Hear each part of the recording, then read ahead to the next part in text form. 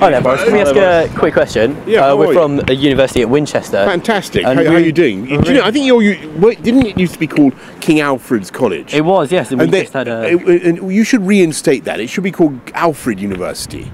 yeah, Don't you King think? Alfred and University. King. Alfred, because I think you changed your name from King Alfred College to University of Winchester, We and have. so this great English king is no longer commemorated in the title of your fantastic institute. Definitely, we have a, we have a So- big lecture building as King Alfred. Oh, you do. Alfred's still there, is he? It is. Okay, He's- good. and um, Alfred's today, very important. You enjoyed your day today? Thank you. Yeah, very very good. Yeah, there's a there's a there's a lot of support for Maria Hutchings, is a fantastic candidate, and I think people are getting the, the you know the, you've got to look at the, the basic choices between the Conservatives have a plan for getting on with uh, improving the economy and getting people into work and sorting out the problems we got, Yeah. and uh, the Liberal Democrats who are great big quivering jellies, great big wobbling jellies of indecision and vacancy and, and all the rest of it. Definitely. And uh, why should we, as students and young people, why should we get I behind think, the campaign? I think because it's all about the future.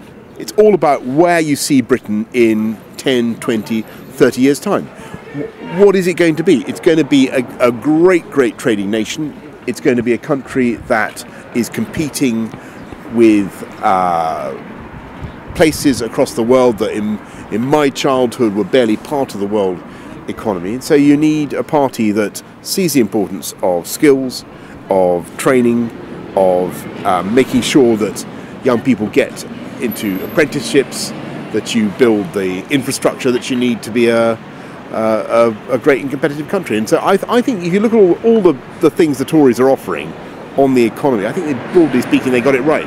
So if, you, if you're worried about where you're going to be, what job you're going to be doing in 10, 20, 30 years' time, you should go with us.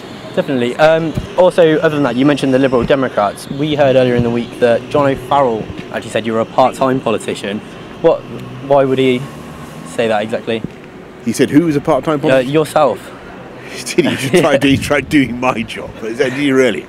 I see. Well, obviously, we've seen you out today, and you're, Yeah. you're getting into it. So Yeah. No. Well, I think um, you know people. People. Uh, the interesting thing about this election, actually, is how the Labour Party is nowhere. You know, this is mid-term, isn't it? And you'd expect Miliband to be to be romping away with this by-election. Uh, Labour Labour came second in 1994. Where are they?